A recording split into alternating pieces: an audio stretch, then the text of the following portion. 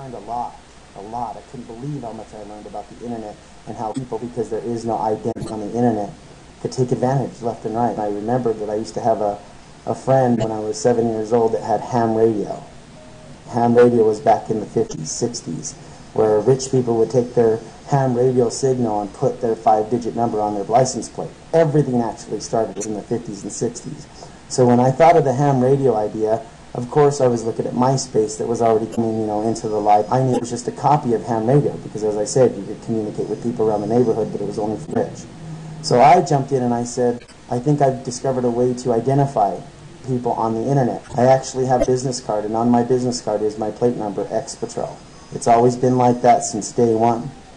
I invented a way to give people identity on the internet with a business card with their plate number tied into it, but now I'm being prosecuted with the same system, so it's went a full 360. The way that the system works, everybody gets email spams. Well, I knew that if Google was to take your plate number and integrate it with your email, you wouldn't be able to spam anybody anymore because if you sent a thousand spam, they would be coming from your identification, which is the plate number. I always noticed that mothers would always look at my plate number before I took their daughter away. So I knew that a dating service where everybody knew each other's plate numbers, there wouldn't be no more messing around. There wouldn't be people trying to hurt women or because there wouldn't be no more 40 year olds trying to get with a 17 or a 16 year old girl because when the girl goes to meet him at the mall, he, she already knows his plate number. That's what our website was about. It was a dating site, and your profile started with your plate number, with a picture with you next to your plate, to actually touching your plate.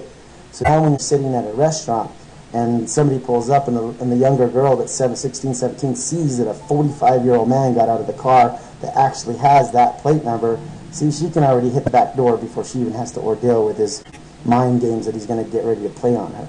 So that's how we started the dating site, and it blew up. Fox 13 in 2007 finally gave me my first news interview. They called me in and they said, this is a dating site, but can pitch what more it's going to be?